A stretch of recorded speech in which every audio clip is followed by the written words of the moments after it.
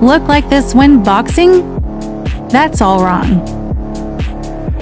Try placing the tennis ball beneath elbows and practice footwork in your stance. Just like this.